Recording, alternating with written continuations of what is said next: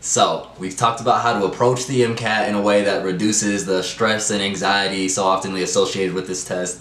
We've talked about the importance of avoiding comparison and really spending some time to figure out what is best for you individually. We've talked about how important it is to take practice exams to build your confidence up so that come test date you're ready.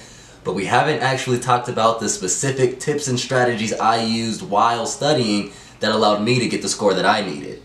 Well, in this video, that's exactly what we're gonna do.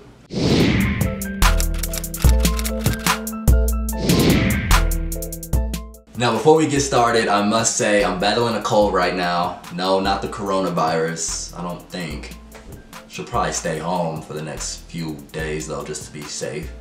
But I have my caffeine, so we are gonna be good to go. If you're new here, my name is J.R. Smith. I just finished this year's medical school application cycle, and I want to share with you a few tips that I found useful, including a few key strategies that helped me study for the MCAT. This is part two of a two-part MCAT mini-series under the larger medical school application series that we're in. And if you haven't yet, it's critical to check out that first video where I go over the way to approach the MCAT to get the score you need without the stress you don't. But in this video, we're gonna be going over the specific study strategies that I employed, including how I reviewed material, how I took practice exams, and how I reviewed practice exams. So some of you may have checked out my study schedule um, in the last video. I put a link in the description below. I'm gonna throw another link in the description below in this video, but I just wanted to take some time to briefly walk through that. So right away you can see that my schedule is mapped out for about 12 and a half weeks or about three months. Um, and again, every day that I was studying, the amount of time I was studying was a very broad range. I was not that type of person to tell myself I was going to study 10 hours a day every day. I knew I would burn myself out and I was just setting myself up for failure. So there were days I didn't even look at MCAT materials and there were days where I studied for up to eight hours or, or so, especially when I was taking those practice exams or reviewing them. Now again, I did use the Princeton review books and practice exams, as well as some of the materials provided by the AAMC. And when you're studying for this exam, I do recommend using some form of review materials in about a half a dozen to a dozen practice exams. So I use the Princeton Review, not an ad, um, but you can use things like Kaplan, which I've had friends use, or you can also just ask friends for used books or go online for those so you don't have to pay full price. So first, you'll notice that after making my schedule and signing up for the MCAT, the first two days I wanted to walk myself in there, not do too much. I actually scheduled a practice exam. And so I know you may be thinking, why would you set yourself up for failure? You're gonna schedule a practice exam without even studying yet. You know, it's basically like de developing a pop quiz, knowing about it and not preparing for it and just throwing yourself in the fire. I get that. But um, I think it's incredibly important to not only know what you're great at, but also know where your weaknesses are. And I know it's human nature to avoid painful experiences and seeing how little you may know that doesn't really feel great. But seeing what you don't know can be extremely beneficial and is essential for maximizing your study efficiency. Almost all the studying is relearning content that you've already learned during your pre-med classes and even if you were like me and occasionally crammed right before the test, so some of that info went in here and right out right after the test, um, there will be material that you remember and you're more comfortable with than others. And that's why it's so important to take a practice exam early. You can see um, you know, where you are really good at, what material you're comfortable with, and then where you need to spend more time on. You can also see here, after I took my practice exam and I reviewed my exam, then you see certain um, subjects, biology chapter 1 through 2, organic chemistry chapter 1, physics chapter 1. So again, I use Princeton Review. These are the days where I was reviewing material throughout this Princeton Review um, kind of guide using their textbooks. Um, and so I wanted to front load my schedule with reviewing material so that by the end I can really just be focused on taking and reviewing my practice exams. Now I would go through these chapters a bit differently based on the material um, that it was, based on if I was comfortable and strong in that subject or not. For example, I was pretty good at biology. I remember some of the basic things like cell metabolism and evolution and you know, cell biology, things like that, but I barely made it out of organic chemistry alive. You know, it may take me an hour or so to read one chapter of biology, But to read that same amount in my organic chemistry textbook, it may have taken three to four hours. And so, again, the amount of time I spent a day studying would vary pretty drastically. And if it was a subject that I needed to really dive in and spend some more time so I can really grasp that content, that would take me longer than just reviewing some of the stuff that I'm already familiar with. Um, and so you can also see that I had my last content review day midway through week nine here. You also notice that up until this point, I ended up taking seven full-length practice exams. So that's almost on pace with a practice exam a week. I ended up taking 13 total practice exams, and in order to do this many, I had to create my own from the AAMC question packs. Um, so alongside full-length practice exams that the AAMC provides, they also have question packs with hundreds of questions pertaining to each section of the MCAT. And with these, you can simulate the exam by doing 50 to 60 questions um, per section for each section. And that's what I did so that I could kind of simulate more tests for myself. So I did, wasn't limited to just about half a dozen. I kind of created my own and then applied the same time restraints when I was taking those tests. You also see that I scheduled six days strictly for catching up and doing practice problems. Um, you know, I did not expect to be perfect, so I planned for that and I scheduled days where I was able to either just catch up or if I was already caught up, I could just review some of the practice problems.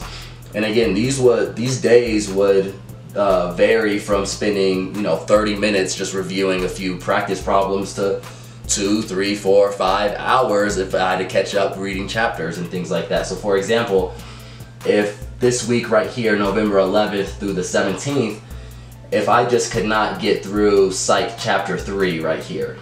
On Thursday, I was able to I wasn't able to put too much pressure on myself about not getting through that chapter if I just had a bad day or whatever because I knew on Thursday I was going to be able to catch up. That was something that I found that really relieved a lot of that stress and anxiety, especially about missing some of the days. I know med students were so neurotic, we don't like to miss things that we schedule out. But if you plan in your schedule days to catch up, then you don't have to go through the anxiety of worrying about that. You'll also see that I scheduled three days completely off. So you'll see here, and these were days that I absolutely did nothing. I did not let myself look at anything MCAT related, which again, for med students, when you're in the grind of something, and you feel like you have to be productive, you can't take a day off, this was huge for me. And this, I think, was what prevented that burnout for me personally. Um, and having it written down as a day off, when it actually, when the day came, I was able to find peace in knowing I didn't have to do anything because I scheduled for me not to have to do anything. So I'm not actually falling behind. It's usually that idea of falling behind that gets, you know, pre-meds and med students that sense of anxiety. And so those days off that I purposely scheduled was huge for me in, in, in terms of avoiding that burnout and anxiety and the other mental and emotional burdens of studying for this exam. So like I said, I was still able to do a lot of the things that I enjoyed, like binge watching Netflix and Hulu with my wife. Though I may say it is probably a good thing Disney Plus wasn't out yet. That could have been dangerous. But the point is that you don't need to tell yourself you need to study 10 to 12 hours a day for this exam. All that's gonna do is set yourself up for failure. And then when you experience that failure, it's gonna be demoralizing, then it's gonna be a slippery slope until you're at a place where you can't be as productive and efficient as you need to be for this exam because you're dealing with so much of the mental weight and the pressure and anxiety associated with pitting too much on your shoulders. Pre-med students are usually, you know, type A personalities and honestly that's usually what drives a lot of their success. But with that, usually comes an uneasiness when you introduce the words time off. You know, we don't feel good if we're not doing something productive with every waking moment of our being. But if you actually schedule and you write down days that you're going to take time off, you can look at your schedule and know that you're fulfilling what your schedule is saying. You know, which again, pre-meds, neurotic, little A-type personalities, we need to make sure we're checking off our to-do list you can feel fulfilled knowing that you did what you were supposed to do. And it also helps because what you were supposed to do was take time off. Now I do want to take some time to just to briefly mention a tool that I actually didn't use but I wish I had because I always hear how amazing it is and that's Khan Academy. Khan Academy has a collection of videos dedicated to the MCAT and for visual learners who learn best through watching videos, I recommend using this tool especially as you're going through your content review, particularly for those sections that you kind of have trouble grasping just from reading it in a textbook. So that brings up a good point. Ultimately, your study habits will change, they'll evolve. Nothing ever goes exactly according to plan, a difficult truth for us medical minds to grasp but it's essential to learn how to adjust and you're able to kind of put yourself in a position to start that process of developing the ability to adjust early while you're studying for this MCAT. See how you do on a practice exam after committing 70% of your content review to the textbook and 30% to Khan Academy or vice versa or anything in between and then use your scores on your practice exam as a gauge that tells you what best is working for you individually. So that's how I prepared for this exam and by no means am I suggesting that this is easy. You know, there were days that I would spend, you know, almost 10 hours studying for this exam. There were days where I was stressed. I could tell you that the last thing you want to do some days on a Saturday evening is be going over and reviewing a practice exam for six hours. But if you want to be a doctor, you're going to have to commit to studying for this test.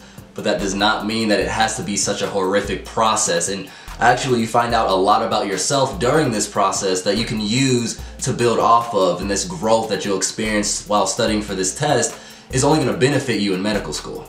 I hope this video as well as my previous video can be helpful for those who are currently preparing on taking this exam and for those of you who have already taken the MCAT, share what tips and strategies you had that you found beneficial so that everyone can benefit from all of our experiences. So if you like this video, give me a thumbs up, it's really appreciated. Be sure to subscribe, tap that bell. New videos coming every week, you're not going to want to miss it. We're just getting started in this medical school application series and I'm super excited to continue to share more tips and strategies that I felt that were useful for me as well as my entire application for you to be able to use as reference.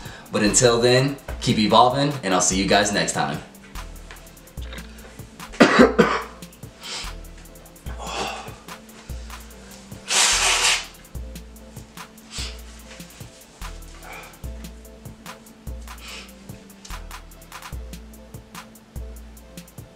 Thought, thought it was a sneeze, it wasn't.